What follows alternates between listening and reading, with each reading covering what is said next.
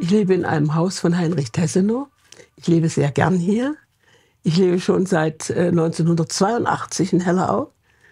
Äh, zunächst in einem größeren und seit nunmehr elf Jahren in diesem kleinen Haus. Gekauft haben wir das größere Haus 1979 und äh, weil es zu haben war. Also wir haben da nicht direkt gesucht. Aber sobald wir in Hellerau waren, haben wir auch sehr gern hier gelebt bis zum heutigen Tag. Es ist ein Fest fürs Leben, wenn man hier sein darf. Und Tessenow-Haus ist natürlich äh, sehr zweckmäßig, sehr klar, sehr gerade, bescheiden. Äh, es ist ein schönes Zuhause. Tessenow hat Kleinhäuser gebaut, also er hat nicht nur die großen, schönen Villen, die es in Hellerau auch gibt, gebaut, sondern eben auch die Reihenhaussiedlung, von der dieses Häuschen ein Teil ist. Damals für ganz schlichte Leute, für Arbeitskräfte in den deutschen Werkstätten. Und die fühlten sich hier wie im Paradies. Und sie hatten recht damit. Es ist auch heute noch eins. Es ist sehr schön, hier zu leben. Die Häuser sind sehr bescheiden, sehr klein. Ich lebe allein hier, da ist es natürlich komfortabel.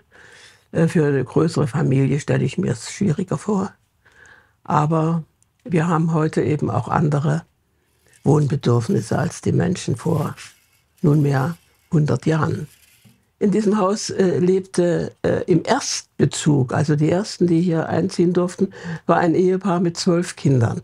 Äh, die haben sich hier glücklich gefühlt. Das ist heutzutage schwer vorstellbar, aber es, es war so. Äh, für mich ist es natürlich, wie ich schon sagte, sehr komfortabel allein in diesem Haus. Ja, was macht's aus? Wissen Sie, Tessenow hat gebaut für, für eine Gemeinschaft.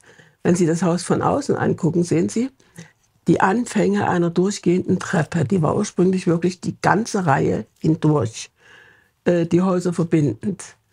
Ansteigend, da wurde das äh, Gefälle der Straße aufgenommen durch die Stufen.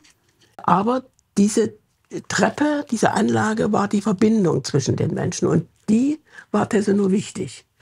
Äh, es gibt in den beiden Kopfhäusern Bänke, äh, die standen außen, also unter diesem Überhang.